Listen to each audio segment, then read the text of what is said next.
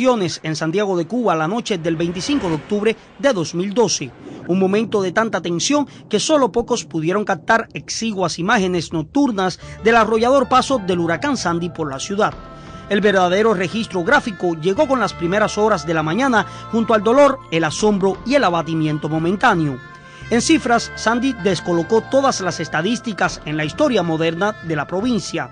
Los tres elementos esenciales del meteoro, los vientos, las lluvias y la mar embravecida, afectaron más de 171.300 viviendas, más de 15.800 derrumbadas en su totalidad.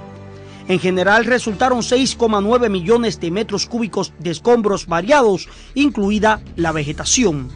Las pérdidas se cuantificaron en 4.700 millones de pesos, dañándose casi 6.000 instalaciones económicas y de servicios.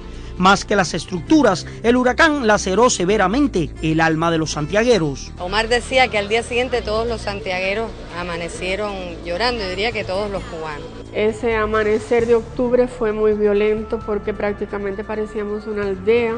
Ver Santiago destruido en tan pocas horas nos dolió a todos profundamente. Con el padecimiento a flor de piel y apenas pasadas unas horas del fenómeno, la provincia comenzó a sentir el aligeramiento de sus desechos y con ello cada acción transformadora, desde las colosales hasta las más pequeñas.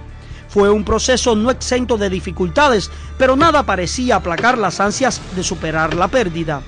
Fue así como en los últimos años Santiago de Cuba fue despojándose de los destrozos, cambiándolos por nuevos espacios, aunque para nadie es secreto todo lo que falta por hacer. Santiago fue una ciudad antes y después de Sandy. Una vez más los santiagueros nos levantamos y comenzamos a trabajar donde eh, nos, nos requería la situación, el momento.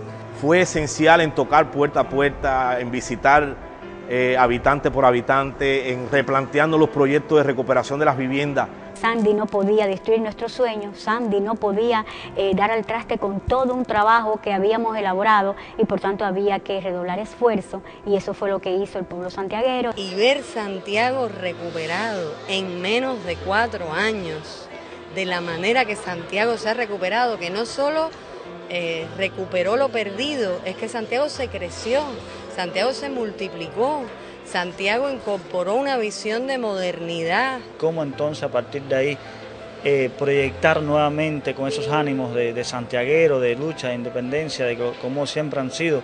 Pues indudablemente es un ejemplo a seguir. A cinco años de uno de los peores momentos de la ciudad, miles de santiagueros aún bregan para convertir a Sandy por completo en un recuerdo.